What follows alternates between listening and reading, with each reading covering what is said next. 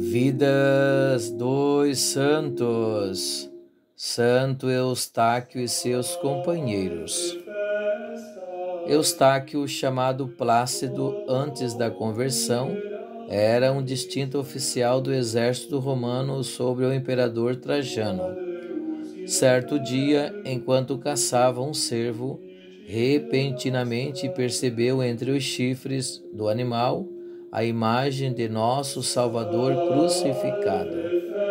Reagindo ao que ele considerou ser uma voz vinda do céu, não perdeu tempo em se tornar cristão.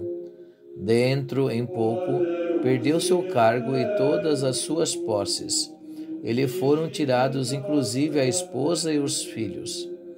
Reduzido a mais objeta pobreza, passou a servir a um rico dono de terras, cuidando de seus campos.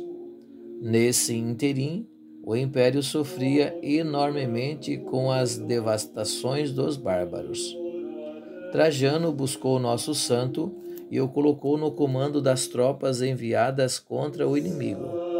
Durante esta campanha, reencontrou sua mulher e filhos, os quais já perdera a esperança de rever. Voltando para casa vitorioso, foi recebido em triunfo e carregado de honrarias. Mas quando o imperador o mandou sacrificar aos falsos deuses, ele se recusou.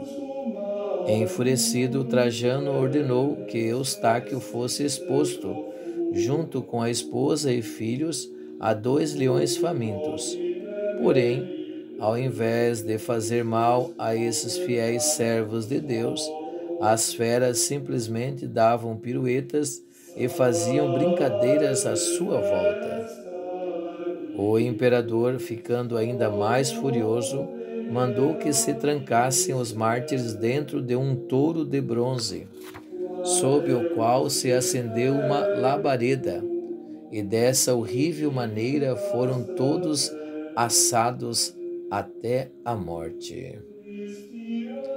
Outros santos do dia: Santa Fausta, São Francisco Maria, Santo Evilásio, São Glicério.